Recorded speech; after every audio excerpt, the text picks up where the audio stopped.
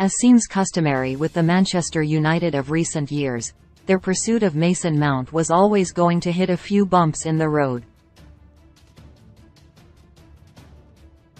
Negotiating for a player with one year left on his contract and edging to leave his current club should in theory be a simple task.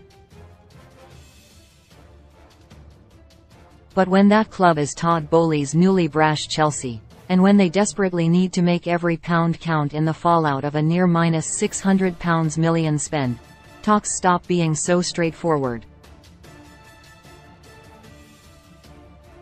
United have tabled three formal bids for Mount in recent weeks, with the most recent worth in the region of £55 million, but are growing increasingly frustrated both at Chelsea's refusal to budge on their own valuation, around £65 million, and their strategy of leaking bids to the media. It will come as yet more frustration than to see Bayern Munich put their hat in the ring, with The Guardian reporting on Saturday evening that they plan to hijack the Mount deal.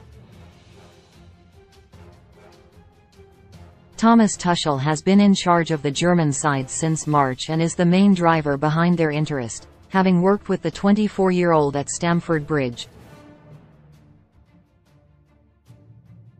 Chelsea would inevitably be willing to offload Mount overseas for a cheaper price, safe in the knowledge that they aren't strengthening a direct Premier League rival, albeit one that finished 9 places and 31 points ahead of them this season.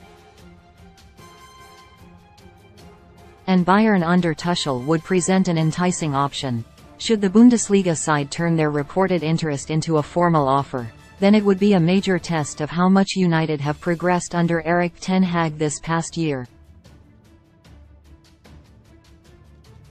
With no Champions League football, no trophy for six years and little in terms of a tangible plan, the Dutchman had problems selling United as a destination for the most elite level of footballer in his first transfer window. I see a big difference in comparison with last year, the Reds boss admitted last month.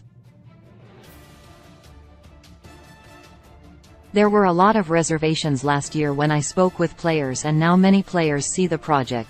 What's going on? The dynamic and the ambition in this project. The quality especially. They are really keen to come, I've noticed that. It looks like there were a lot of reservations last year, a lot of doubts when we approached players. This year, many quality players really want to come. Mount is both a quality player and one who wants to come to United, evidenced by him agreeing personal terms on the move in May. The midfielder's representatives, Father Tony and agent Neil Fewings, held advanced talks with the club last month and were convinced by the project laid out in front of them. Bayern's entrance into the party will stress test that commitment. With the German champions able to guarantee yearly silverware, they've won the last 11 Bundesliga titles, and progression into the latter stages of the Champions League. They can also offer the chance to reunite with Tuchel, whom he produced his best football at Chelsea under, and are by no means struggling to match Premier League pay packets. United remain in the driving seat, having both entered direct talks with Chelsea and agreed terms with Mount. Should Bayern turn their plans into action, then they will provide a serious rival and a difficult choice. How Ten Hag's side deal with that will prove just how far they have come in the last year,